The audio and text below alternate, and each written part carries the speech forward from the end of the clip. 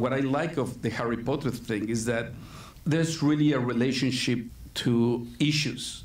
When I start working with Steve Kloves, it says, yes, okay, this is the fantasy world, but I, am more interested about, about this transition between childhood into teenage years. I have just done a film that was the transition between teenage years into adulthood.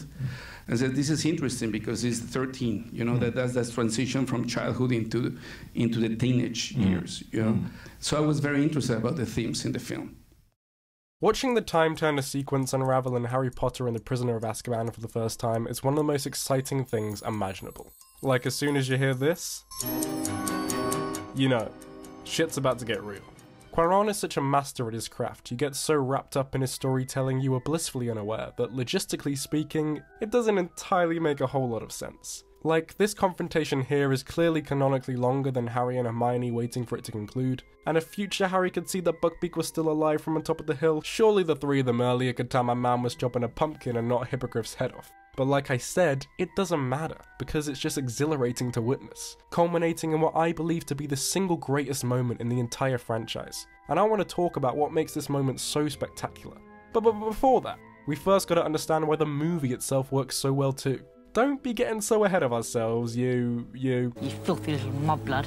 This is where Harry Potter peaked. From that opening interview, its clear theme was central to Cuarón's entry into the franchise, and his decisions always made in service of thematic resonance. So because of this, let's examine the film from the perspective of its three main themes, them being isolation, adolescence, and fear all three being perfectly intertwined in some way or another, and as we'll find out, expertly crescendo to greater enhance the film's greatest scene. Fear might just be the film's biggest theme, no better presented in the now iconic scene of the Boggart. For those unfamiliar, a Boggart is a shape-shifting thing that takes the form of the onlooker's worst fear.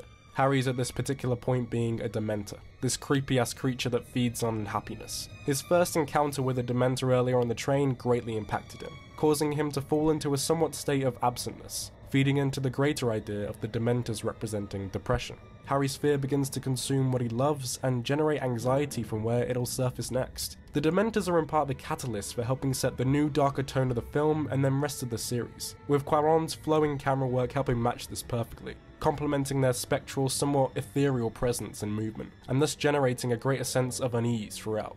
There are also instances where Cuarón examines the scene from the perspective of fear itself, further heightening and instilling this darker atmosphere, as well as visualizing how, for Harry, he seemingly cannot escape his fear or despair.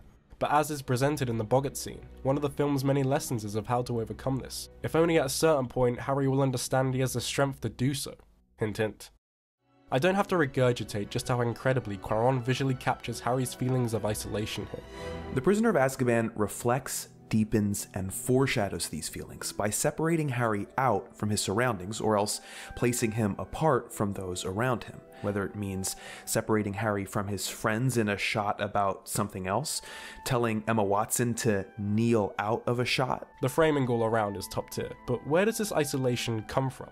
Obviously, from being the chosen one, the confusion of this title and whole new world and legacy thrust upon him at a young age, but also from grief. Although grief is a recurrent theme in the entire franchise, in a way, this film explores each facet of the idea of its five stages, speaking to this film feeling much more self-contained than the others. We see Harry's anger in this resentment he feels for never being able to get to know his parents, or the way he believes them to have been treated, built up through every permission slip he can never get signed, or the long list of memories he never got to make. Bargaining naturally follows this stage as Harry develops dangerous thoughts of harm onto those he perceives as having betrayed his parents, which will lead to further isolation from those around him.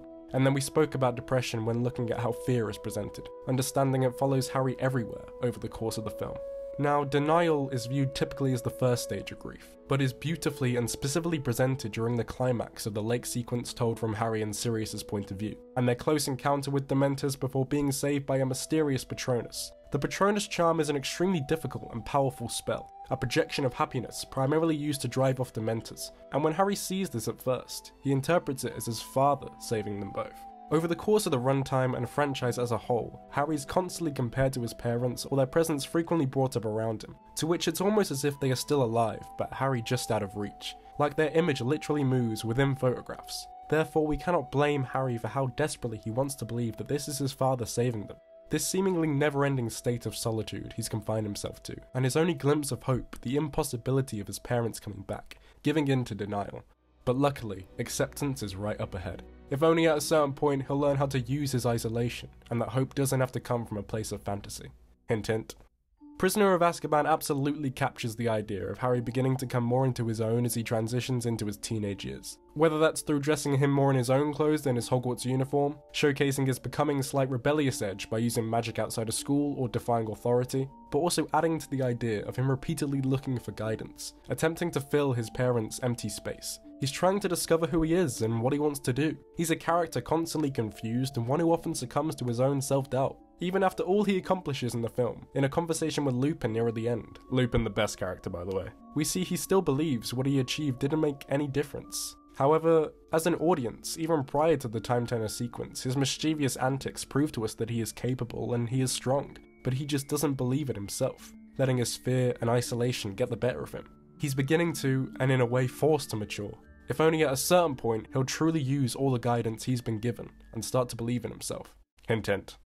So now that brings us to this. Sirius.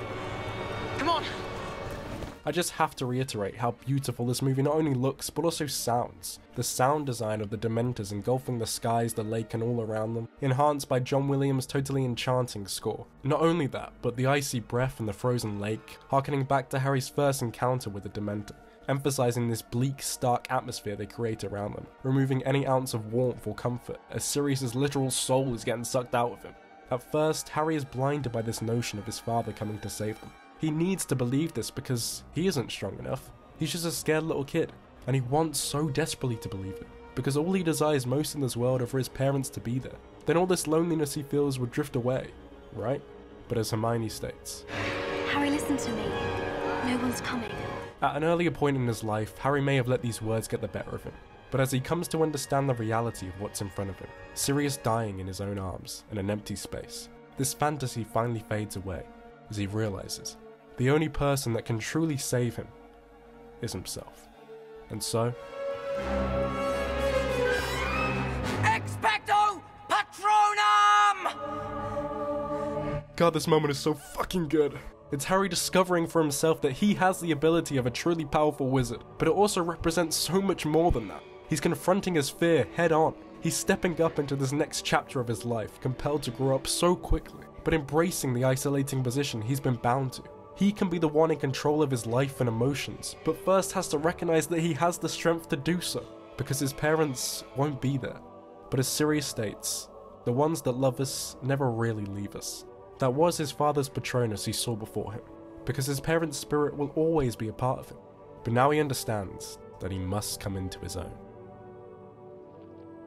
Light is one of the many recurring motifs throughout the film, and as Harry casts away every last Dementor, I'm reminded of a quote Happiness can be found even in the darkest of times, if one only remembers to turn on the light. Right under our noses, everything in the movie had been building up to this, and that is the magic of the movies, baby. That was cringe, but great movie. Uh, and they sent me Harry Potter, and I haven't seen Harry Potter, read Harry Potter or anything, but I just said, okay, this is ridiculous. and I was making fun of it. Guillermo del Toro called me and says, what's, what's happening? He says, well, they, can you believe me? They offered me this Harry Potter thing. I was laughing. And he says, have you read it? I says, no. He says, well, you're a fucking arrogant asshole. Skadoosh.